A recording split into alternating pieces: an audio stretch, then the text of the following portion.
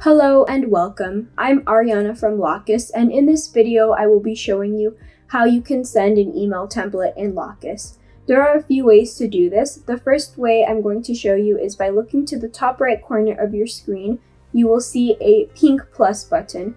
Once you select that, you will see a variety of options pop up. And if you scroll all the way to the bottom and select send email, you will see a screen where you can select a client and a matter or a lead to send an email to. You will also see the ability to select a template. Once you select an email template, you will see that your subject line and message will automatically populate and you can go ahead and send that to your client.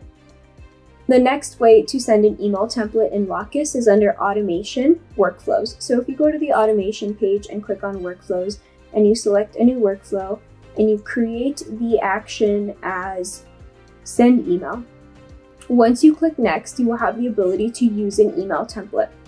This will automatically populate the subject line and the body of the message for you once again.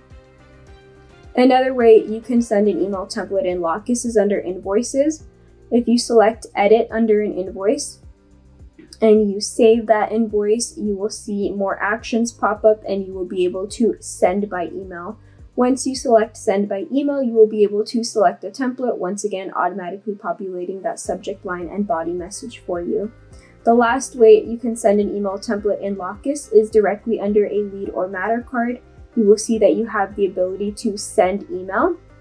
Once you do that, you can select a template and automatically populate the necessary information that you might want to collect or send to your client. If you have any questions, please reach out to our team at support at lawcus.com. Thanks for watching.